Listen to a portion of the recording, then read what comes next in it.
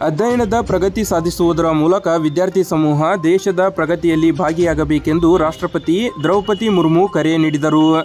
ಧಾರವಾಡದ ಸತ್ತೂರು ಬಳಿಯ IIT campus ಉದ್ಘಾಟನೆ ಮಾಡಿದ ನಂತರ ವಿದ್ಯಾರ್ಥಿಗಳನ್ನು ಉದ್ದೇಶಿಸಿ ಮಾತನಾಡಿದ ಅವರು, ದೇಶದ ಪ್ರಗತಿ ಇಂದಿನ ಯುವ ಸಮುದಾಯದ ಕೈಯಲ್ಲಿದೆ. ವಿಜ್ಞಾನ ತಂತ್ರಜ್ಞಾನದಲ್ಲಿ ಪ್ರಗತಿ ಸಾಧಿಸುವ ನಿಟ್ಟಿನಲ್ಲಿ ವಿದ್ಯಾರ್ಥಿಗಳು ಸಂಶೋಧನೆ ಮಾಡುವುದು ಬಹಳಷ್ಟು ಪ್ರಾಮುಖ್ಯತೆಯನ್ನು ಪಡೆದಿದೆ ಎಂದು ತಿಳಿಸಿದರು.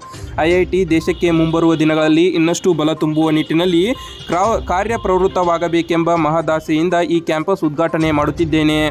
ಪ್ರಧಾನಿ ನರೇಂದ್ರ ಮೋದಿ ಅವರು ಕಟ್ಟಡದ ಶಿಲಾನ್ಯಾಸ ನೆರವೇರಿಸಿದ್ದರು. ಇದೀಗ ಉದ್ಘಾಟನೆಯನ್ನ ಮಾಡಲಾಗಿದೆ. ಇದು ಮುಂಬರುವ ದಿನಗಳಲ್ಲಿ ದೇಶದ ನಂಬರ್ ಒನ್ ಐಐಟಿ ಕೇಂದ್ರವಾಗಿ ಮಾರ್ಪಡಿಸುವ ನಿಟ್ಟಿನಲ್ಲಿ ವಿದ್ಯಾರ್ಥಿಗಳು ಶ್ರಮವನ್ನು ವಹಿಸಬೇಕು, ಅದರಂತೆ ಅಧ್ಯಯನಶೀಲರಾಗಬೇಕು ಎಂದು ತಿಳಿಸಿದರು.